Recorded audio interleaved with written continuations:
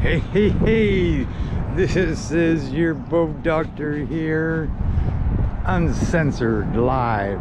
This is a 2013 20 foot Sportsman, Hewescraft, lots of room, top, sides, backdrop, dual wipers, window stop, right here, large anchor puller right here, please, line shocks. I got the two speed jack, I like these. You pull it out, you get the extra low no more of that heavy heavy cranking anymore. They don't really rust on you if you notice.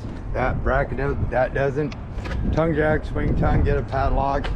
Cheapy for that just so kids don't pull it and you go down the road sideways. Two inch balls standard flip. I'd get a padlock for that right here. Uh, cables are good. Uh, that's a, a better than chains. Flat four on the trailer wires. Keel roller boat does not ride on that. You got uh, kind of a mini reverse chine Got chine guides, Teflon chine guide. That way it doesn't rub down the side of your boat. You got gear bath oil hubs, brown good, white bad. Uh, five lug, about 80 pounds torque.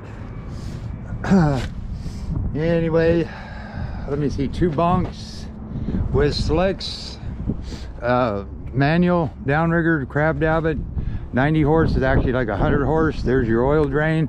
There's your uh, P-tube right here. It's got a 17 pitch right hand aluminum. That's your skimmer or your transducer, live well. Must have a wash down. Them are them two screen pickups. My drain plug, 11 by 7 prop. Got a 9.9 high thrust. Uh, this is a power tilt, electric start, tiller. And you can actually, if you lock this one out, it's got a friction bar right here. You can lock this out, you can actually steer with this. You got zincs inside the motor every cylinder on the block. Same thing with the kicker. That's a twin with two four and then you got one on the block. You got that zinc. You got zinc on the motors. You got zinc on the little motors. Uh, freshwater flush right there. And you got a freshwater flush here. Your oil drains here to drain this. Uh, earmuffs here. Looks like he you know he's hit it maybe drug it a little bit nothing. That doesn't matter. You could take this clean to here and it ain't gonna make a difference how it steers or how it handles. Your uh, gear oil drain there, or check there, drain there. If you ever want to check it, pull that out, put like a little turkey strap down in there. Same thing here. Uh, where in the heck is there's that? Uh, it's right there. There's that, and there's your fill. Okay, you got two benches, four pole holders. You got a Lowrance, hook, VHF, Yamaha attack. I, will see how many hours is in it when I get, um, well, you know what? Why don't we do it now while I'm here? This ain't that hard to get into. And he's got a switch for something. And I don't know if that's, that ain't very sanitary though. I'd maybe, oh, that's for his wash down it looks like, or he had a live well put in. That's his wash down pump.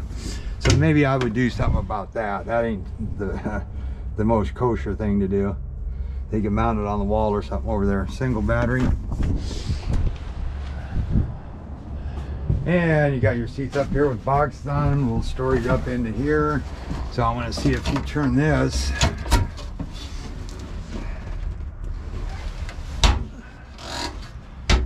I don't know why he would have two pickups in there unless he had a light well up here. and then you just unzip that. That's what I like about these. then you go like this.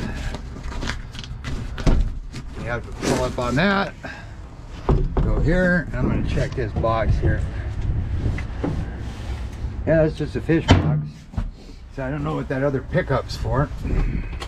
703 control box, there's your hook 7, your VHF. That's turning on, you got 115 hours, full tank of gas.